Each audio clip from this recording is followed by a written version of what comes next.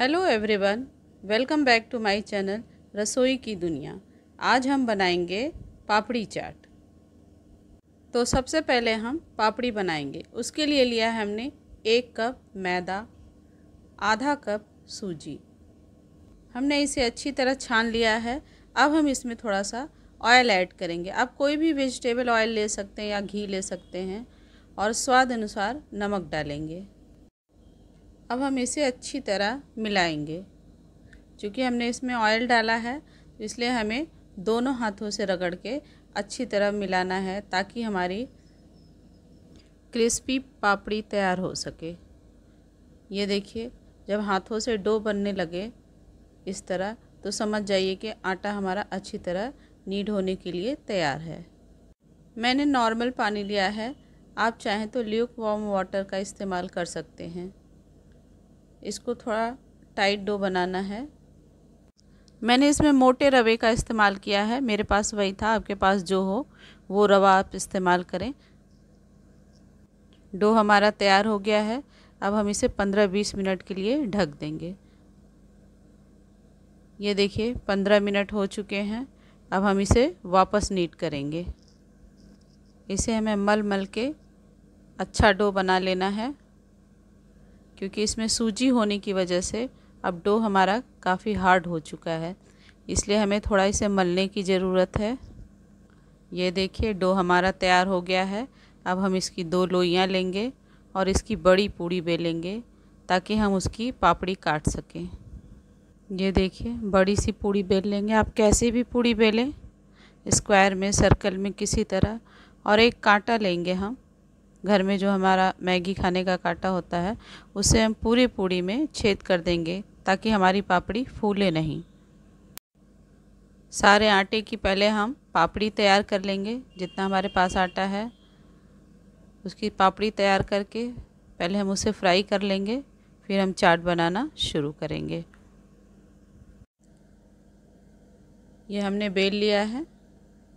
और आपके पास कोई भी कटोरी, ग्लास या फिर ढक्कन हो, जो भी पापड़ी के साइज़ से मिलता जुलता हो, आप उससे पापड़ी काट लेंगे। सारे पापड़ी को इस तरह निकाल के अलग रख लेंगे।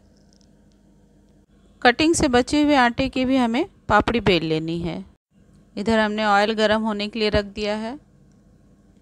अब हम इसमें पापड़ी को डालेंगे। लो फ्लेम पे क्रिस्पी होने तक फ्राई करेंगे। आँच तेज़ बिल्कुल भी ना हो, नहीं तो पापड़ी हमारी ऊपर से जल जाएगी और अंदर से कच्ची रह जाएगी। फ्रेंड्स, अगर आपको मेरी ये चाट पापड़ी की रेसिपी पसंद आए तो लाइक, शेयर, सब्सक्राइब ज़रूर करिएगा, कमेंट करना ना भूलिएगा, और बेल आइकन तो ज़रूर दबाइएगा, ताकि मेरी वीडियो की नोटिफिकेशन सबसे पहले आपको मिले। हमारी सारी पापड़ी तैयार हो चुकी है। आप देख सकते हैं, अब हम चाट बनाने के प्रोसेस में आगे चलते हैं। पापड़ी बनाना स्टार्ट करते हैं। फ्रेंड्स ये पापड़ी चाट आप ज़रूर ट्राई करिएगा। ये खाने में वाकई बहुत टेस्टी लगती है। ये पापड़ी हो गई।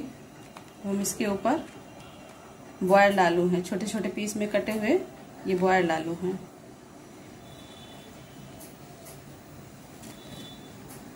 प्याज। ये हम बारीक कटे प्याज डालेंगे।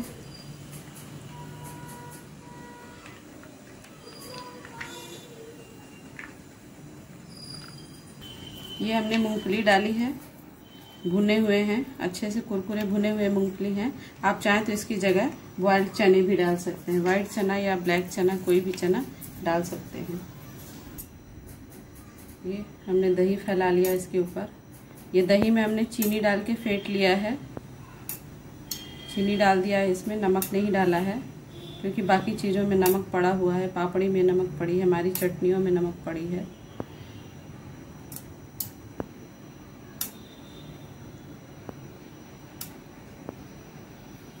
ये हरी चटनी है, इसे मैंने घर पे बनाया है।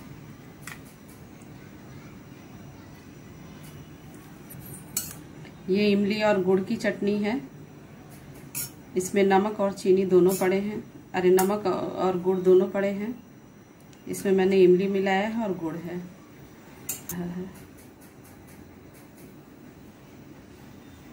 ये लाल मिर्च पाउडर है।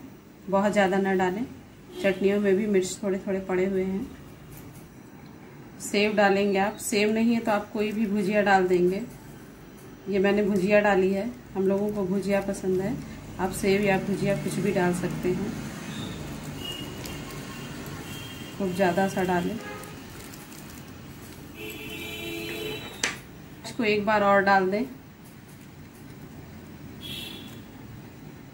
आप चाहें तो हरी मिर्च भी काट के डाल सकते हैं। इसके ऊपर एक बार और दही डाल दें।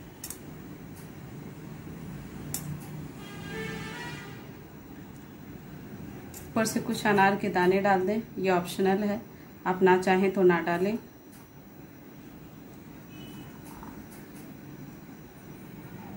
थोड़ी सी हरी धनिया की पत्ती या फिर पुदीने के पत्ते, जो भी आपका दिल करे, वो आप डाल दें।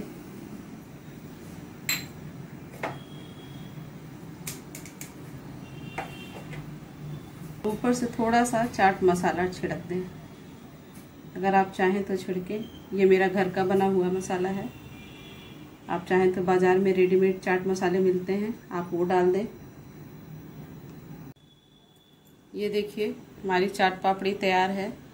अब हम एक उठा के आपको दिखाते हैं। ये देखिए।